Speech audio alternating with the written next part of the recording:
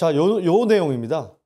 어, 지금 국민의힘의 의원이 이종배 의원이 예, 발의를 지금 했는데요.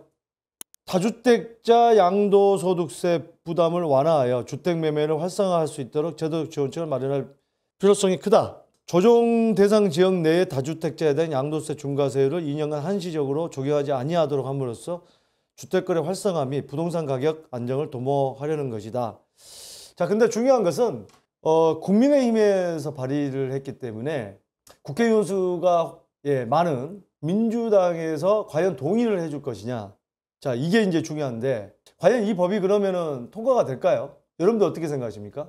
지금 선거 앞두고서는 여야 할 것 없이 민주당이나 국민의힘이나 다 어, 세금도 완화해주고 민주당에서는 그런 얘기를 했었죠. 이재명 후보가 다주택자 한시적 완화 이 얘기가 나왔습니다. 이게 이제 이 법하고는 좀 다른데 1년인데 1년인데 6개월 동안은 100% 중과를 시키지 않겠다. 그러니까 일반 과세겠죠. 다주택자는 중과가 안 되기 때문에 그 다음에 6개월부터 9개월 사이에는 뭐 50%만 중과하겠다.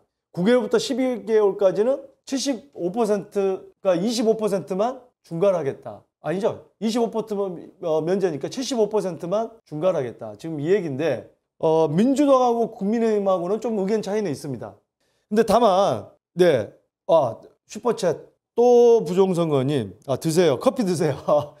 커피 드세요. 테슬라, 엔비디아 회복되면 비싼 커피로 쏠게요. 아, 또 부정선거님은 어, 예전에 어, 왕누나님이신데 테슬라, 엔비디아를 가지고 계시군요. 저는 어, 해외 주식은 이미 제가 1년 전쯤에 다 처분을 했습니다. 아, 이게 많은 걸 하고 있으니까 예, 머리가 아파서. 근데 테슬라, 엔비디아는 워낙에 또 어, 미래, 테슬라 같은 경우도 이제 전기차, 뭐 일론 머스크 아주 뭐 또 떨어졌다 다시 올랐죠. 또 엔비디아 같은 경우도 이 반도체 어, 설비 이쪽에서는 아주 강점이 있는 회사이기 때문에 에, 아마 좋은 또 장기 투자한다면 예, 좋은 결과가 있을 것 같습니다. 곧 어, 비싼 커피 예, 얻어 마실 수 있는 그런 날이 빨리 왔으면 좋겠습니다. 예.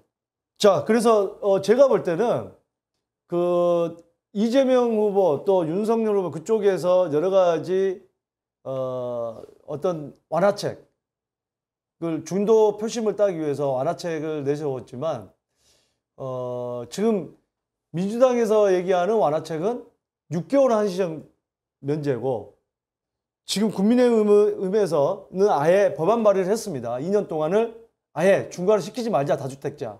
그래서 거래를 원활하게 만들자. 어떻게 생각하십니까? 이거 통과될까요? 과연 민주당 의원들이 이거를 갖다가 동의를 많이 해줄까요? 네, 여러분들 생각을 댓글 한번 남겨보시기 바랍니다. 여러분들 생각은 어떠실지. 여러분들 댓글이 올라오면 예, 저의 의견도 아, 함께 얘기하겠습니다. 그럼, 그러면 이거는 조금 후에 제가 말씀드리도록 하겠습니다. 제 의견을. 의견이 없기 때문에. 아, DDDH님, 통과 안 될 뜻이요. 현우 아빠님, 1년으로 갈 뜻이요. 아, 그 현우 아빠님은 1년으로 아, 갈 것 같다는 얘기는 민주당에서 얘기하는 6개월 100% 면제, 어, 양도 중, 중과 안 시키는 거. 그 다음에 순차적으로 1년만 하겠다. 청담님은 내로남불당은 노. BK선님은 민주당이 되면 안 하려고 하겠죠. 국민의힘이 된다면 통과하고 완화하려고 할 겁니다. 그러니까 이거 이거는요 민주당이 되든 국민의힘이 되든 통과되기는 지금은 쉽지는 않습니다. 한중 팍님 아예 폐지해야 하는디 하민튜브님 대선 뒤집기를 위한 선심성 쇼다. 박덕경님 통과 안 되고 하순녀님 실거주 의무도 없어지면 매물이 쏟아질 듯요. 예. 어, 허순녀님이시군요. 예. 제가 볼 때는 여가 되든 야가 되든 이 법안은 통과되기는 쉽지 않을 겁니다. 어쨌든 국회의원은 예, 더불어민주당에서 많이 있고 예, 민주당에서 되더, 되더라도 어, 2년짜리는 통과는 시키지 않을 겁니다. 예. 국민의힘이 되더라도 국회의원이 민주당이 훨씬 많기 때문에 민주당에서 예, 쉽게 순순히 동의해주지 않을 겁니다. 예, 그렇게 동의를 해준다고 한다면 지금까지 아, 민주당에서 하고 있는 정책이 정말 잘못됐거나 인정하는 꼴이 되기 때문에 순순히 인정하지는 않을 겁니다. 다만 제가 어, 몇 차례 방송에서 말씀을 드렸습니다만 내년쯤에는 이 좀 완화책들이 어느 정도 어, 통과될 가능성이 크다. 오히려 민주당에서 어느 정도 주도할 수도 있다. 그 이유는 내후년이면 이제 국회의원 선거잖아요. 근데 내년 정도 되면 이제 1년이 남기 때문에 1년 전부터 이 지금 서울의 이 민주당 어, 의원들은 어, 이 쉽지 않습니다. 이 지금 웬만한 지역들이 다 세금이 많이 올랐기 때문에 지금 자꾸 그 종부세만 얘기하는데 이 공시가격이 오르는 것 자체가 재산세가 오른 거거든요. 세금을 지금 다 많이 내고 있어요.